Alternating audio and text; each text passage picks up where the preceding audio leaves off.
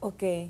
Y mm, volviendo a la pregunta, una posibilidad en una mujer de 40 años que queda embarazada es tener un niño con síndrome de Down.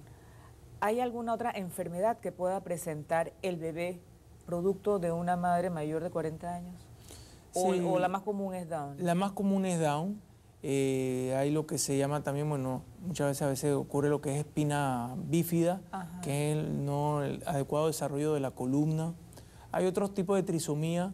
¿Qué es una trisomía? Trisomía es que eh, está alterado eh, uno de los que son los, los cromosomas, está uno de más, entonces ocurre lo que es una trisomía, es la, la trisomía de lo que es 18, pero por lo usual estos casos no, no, no sobreviven. Pero el más común es eh, síndrome de Down.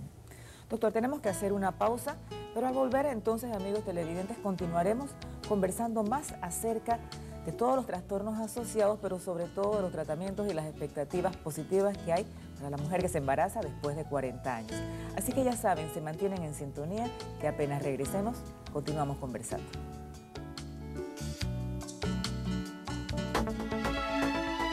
Bien, estamos de regreso con el tema embarazo después de los 40 años. Recuerden que si hay dudas, comentarios con relación a este tema, va a estar disponible el correo electrónico consultorio al aire Doctor, antes de la pausa, usted inició mencionándonos cuáles eran eh, los riesgos para el bebé más frecuentes en el embarazo después de los 40. Nos mencionó que era Down. Pero también en algún instante me mencionó, bueno, la mujer hiper- hipertensa, la diabética, también favorece el alto riesgo. La pregunta va dirigida de la siguiente forma. Si la mujer tiene 30 años de edad y es diabética o es hipertensa, ya de salida por esa condición es alto riesgo, aunque estemos hablando de 10 años antes. Como no, ya con este tipo de enfermedades es mejor catalogar de alto riesgo. Es mejor, vamos a decirlo, eh, manejarla Ajá. como alto riesgo que confiarnos de que todo está bien. Porque hay que ser estricto en lo que son los controles, los chequeos, sobre todo en, en pacientes diabéticas, ya sea lo que es la glicemia o la, glu- la glucosa, el azúcar, Ajá. en las pacientes hipertensas, sus controles. O sea que es mejor ser más estricto en su control y prefiero catalogarla de alto riesgo. Durante el embarazo, ¿cuáles son las situaciones riesgosas que se pueden presentar para la mujer que está en la condición de la cual estamos hablando? No me refiero ya al momento del parto del bebé, sino en el transcurso de, las de los nueve meses. ¿Qué situaciones pueden presentarse?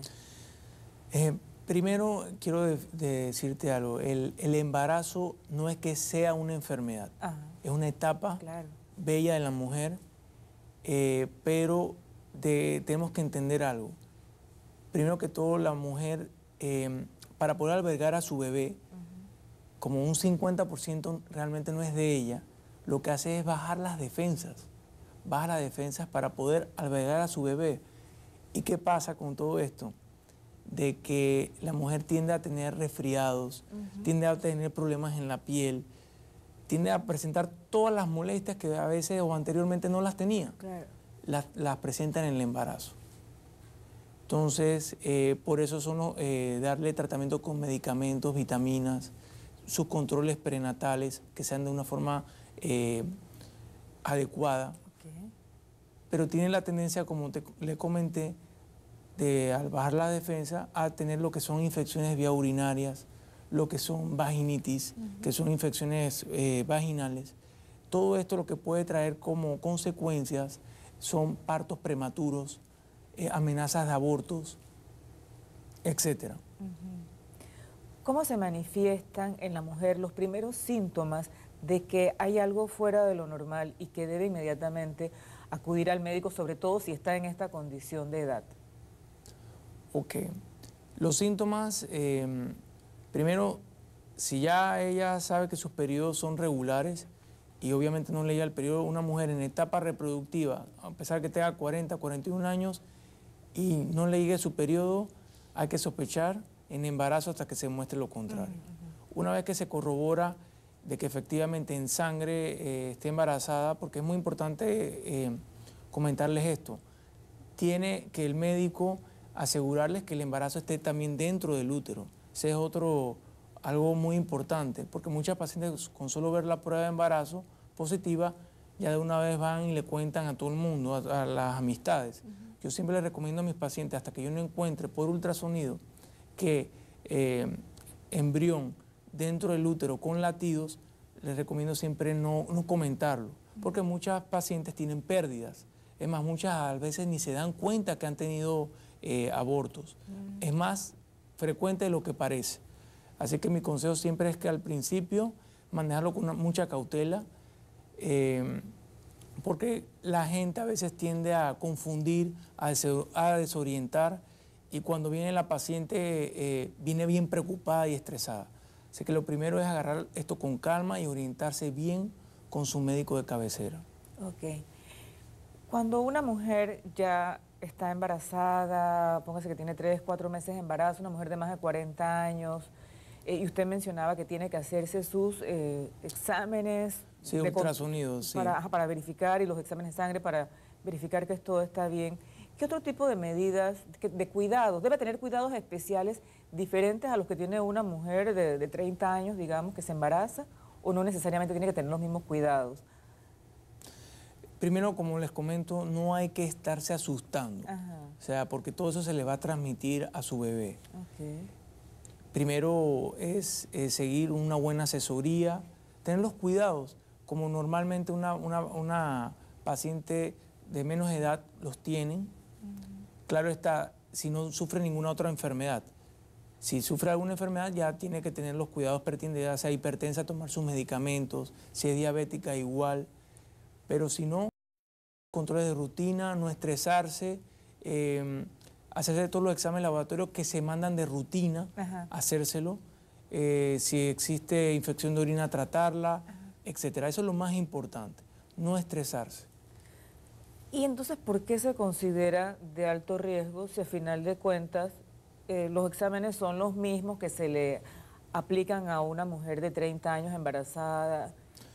Porque la amenaza de aborto, eh, los partos prematuros, eh, es más común. Entonces, hay que estar más pendiente en esos casos. Por lo menos en, el primer trimestre de embarazo, sobre todo las amenazas de aborto, hay que darles más, mayor seguimiento. Bueno, eh, ahora que menciona esto, que el primer trimestre del embarazo, ese es el periodo donde hay mayor riesgo de pérdida en, el embarazo de alto riesgo. Exactamente, en el primer trimestre y al final también. Hay que tener mucho cuidado en esas partes extrema ¿no? en el, em, del embarazo. En el primer trimestre porque tiene abortos y al final porque puede tener lo que son eh, partos prematuros. Justamente por ahí venía mi pregunta de hace un rato, es una mujer en esta condición, un embarazo de alto riesgo, está en su primer trimestre de embarazo, ¿hay algún síntoma que ella pueda percibir y que le alerte que puede presentarse un aborto prematuro y que la lleve corriendo a su consulta porque hay el riesgo, porque es un embarazo de alto riesgo. Por eso, ¿qué síntoma ella puede percibir? lo primero que siempre algunas pacientes van a tener coliquitos, eso a veces es normal.